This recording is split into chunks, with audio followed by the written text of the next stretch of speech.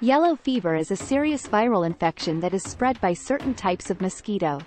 It's mainly found in sub-Saharan Africa, South America and parts of the Caribbean. The condition can be prevented with a vaccination and is a very rare cause of illness in travelers. Between 1999 and 2018, there were 12 cases of yellow fever reported among European travelers. None of these travelers were vaccinated. Five of these cases occurred in 2018. If you're planning to visit places where yellow fever infection is found, you should seek travel health advice before you travel. How yellow fever is spread. The virus that causes yellow fever is passed to humans through the bites of infected mosquitoes. The mosquitoes that spread the infection are usually active and bite during daylight hours, and are found in both urban and rural areas. Yellow fever can't be passed directly from person to person through close contact. Yellow fever symptoms. The symptoms of yellow fever occur in two stages. The initial symptoms develop 3 to 6 days after infection, and can include 1. A high temperature, fever. 2. A headache. 3. Nausea or vomiting. 4. Muscle pain, including backache. 5. Loss of appetite. This stage will usually pass after 3 to 4 days and most people will make a full recovery.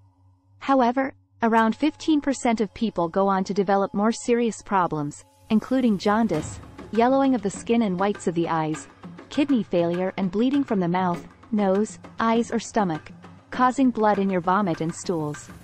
Up to half of those who experience these symptoms will die. When to seek medical advice. You should see a doctor as soon as possible if you develop symptoms of yellow fever and are currently traveling in an area where the virus is found, or have recently returned from one of these areas. To help determine whether you have yellow fever, the doctor will want to know exactly where you have been traveling and what symptoms you have.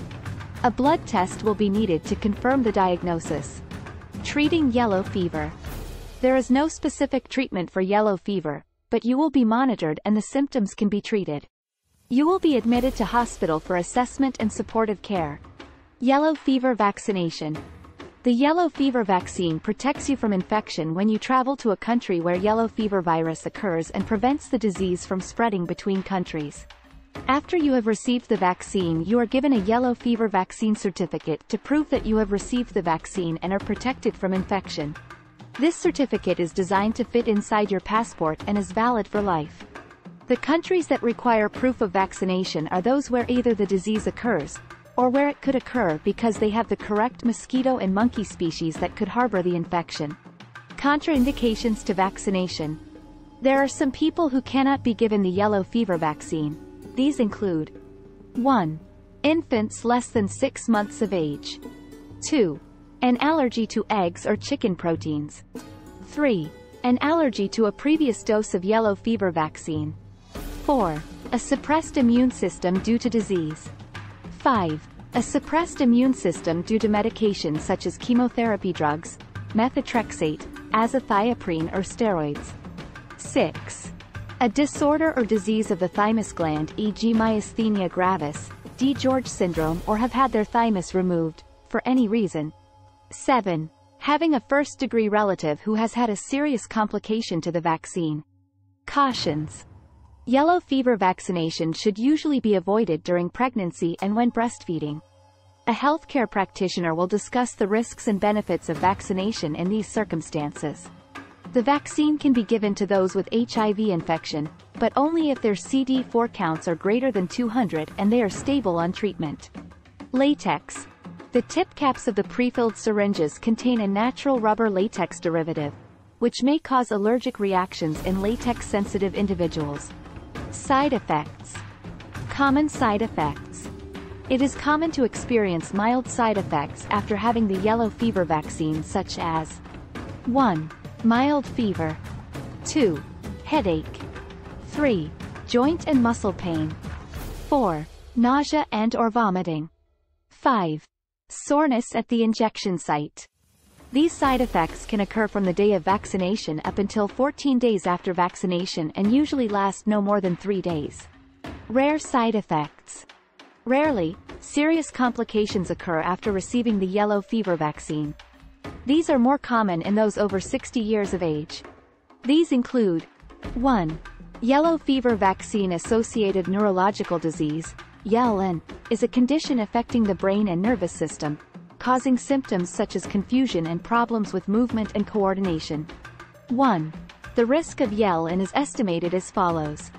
Over 60 years of age equals 2.2 cases per 100,000 doses of vaccine administered. Less than 60 years of age equals 0.8 cases per 100,000 doses of vaccine administered. 2. Yellow fever vaccine-associated viscerotropic disease, YEL-AVD, is similar to yellow fever itself with multi-organ failure and death in approximately 48% of cases. 2. The risk of YEL-AVD is estimated as follows. Over 60 years of age equals 1.2 cases per 100,000 doses of vaccine administered. Less than 60 years of age equals 0.3 cases per 100,000 doses of vaccine administered. Vaccination in those older than 60 years of age. If you are 60 years of age or older, you can receive yellow fever vaccine, but only if you are fit and well, understand the risks of vaccination and have a real risk of yellow fever virus at your destination, rather than requiring the vaccine just for certificate purposes. A healthcare practitioner will discuss your risk of disease at your destination and the potential risks of the vaccine, to help you to make an informed decision regarding vaccination. Medical exemption certificates. A healthcare practitioner will decline to vaccinate you if there is a contraindication to the vaccine and may decline to vaccinate you if the risk of serious vaccine side effects is assessed as being higher than the disease risk.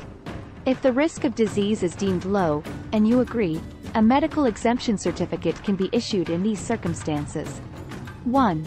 A medical exemption certificate is only valid for one trip. 2. You must practice strict mosquito bite avoidance during travel because you will not have any protection from the vaccine against potential infection. 3. You must be reassessed on subsequent trips. Avoiding travel to a yellow fever risk area. If you have a contraindication to the vaccine or the risk of serious side effects is high, and there is a significant risk of contracting yellow fever on your trip, you are likely to be advised to cancel or change your travel plans. Healthcare practitioners are not obliged to administer yellow fever vaccine if they believe it unsafe to do so, or it is not required for your trip. If you have any medical conditions, it is best to seek travel advice before you book your trip.